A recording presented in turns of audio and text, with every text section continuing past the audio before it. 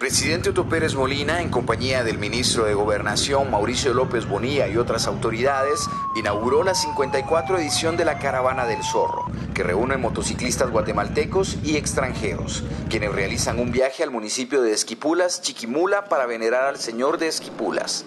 Este año la travesía busca entrar al libro de récord Guinness como la actividad que reúne mayor cantidad de motocicletas en una romería. Muchas gracias a todos ustedes que son parte importante de lo que hoy está escribiendo una historia gracias a la iniciativa de Eddie. Felicitaciones, Eddie, por esta iniciativa, por esta costumbre, por esa tradición. Dalia Santos, vocera del Departamento de Tránsito de la Policía Nacional Civil, dio a conocer que mantienen operativos viales con no menos de 200 agentes. A las acciones para salvaguardar la vida de los pilotos se suman elementos de la PNC, de la Unidad Humanitaria y de Rescate del Ejército de Guatemala, Cruz Roja, cuerpos de bomberos, personal de la Coordinadora Nacional para la Reducción de Desastres, Dirección General de Protección y Seguridad Vial, entre otros.